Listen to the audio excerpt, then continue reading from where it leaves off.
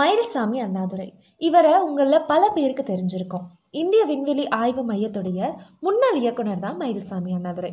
இவரை பற்றி தான் இந்த வீடியோவில் நாம் பார்க்க போகிறோம் மயில்சாமி அண்ணாதுரை ஜூலை ரெண்டு ஆயிரத்தி தொள்ளாயிரத்தி ஐம்பத்தி எட்டில் கோயம்புத்தூரில் இருக்க கோதவாடி அப்படின்ற ஊரில் தான் பிறக்கிறாரு. இவருடைய அம்மா பாலசரஸ்வதி அப்பா மயில்சாமி.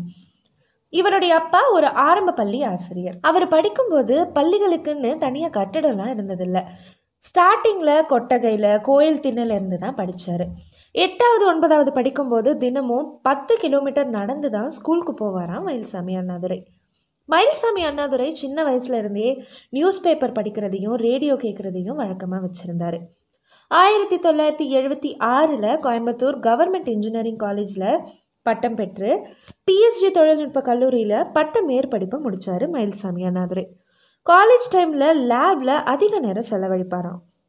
ஆயிரத்தி தொள்ளாயிரத்தி எழுபத்தஞ்சு எழுபத்தி ஆறுகளில் ஒரு கண்டுபிடிப்பை கண்டுபிடிச்சார். அது என்னென்னா ரேடியோ ஆன் பண்ணால் தானாகவே ஆஃப் ஆகிற மாதிரியான ஒரு டைமிங்கை தான் கண்டுபிடிச்சார். மயில்சாமி அண்ணாதுரை இது வரைக்கும் ஐந்து முனைவர் பட்டம் வாங்கியிருக்காரு.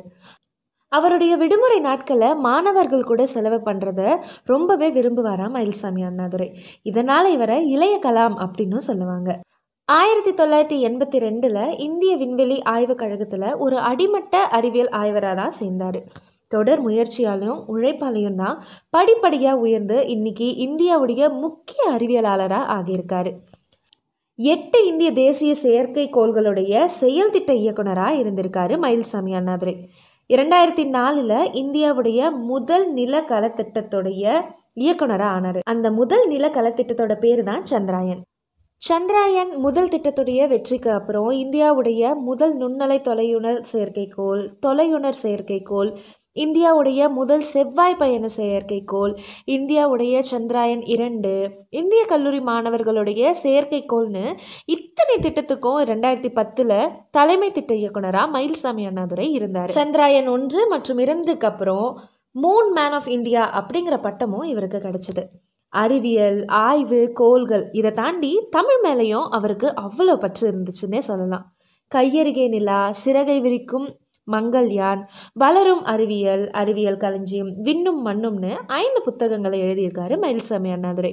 இதில் கையருகே நிலா அப்படின்ற புத்தகம் இரண்டாயிரத்தி பதிமூணில் சீபா ஆதித்தனார் இலக்கிய விருதும் வாங்கியிருக்குன்னே சொல்லலாம். இதை தாண்டி கர்ம வீரர் காமராஜர் நினைவு விருது நாலு முறை இந்திய விண்வெளி ஆய்வு விருது ஐந்து முனைவர் பட்டம் சந்திராயன் ஒன்றுக்காக மூன்று சர்வதேச விருதுகள் சர் சி வி ராமன் நினைவு அறிவியல் விருதுன்னு பல விருதுகள் இவர் வாங்கியிருக்காரு.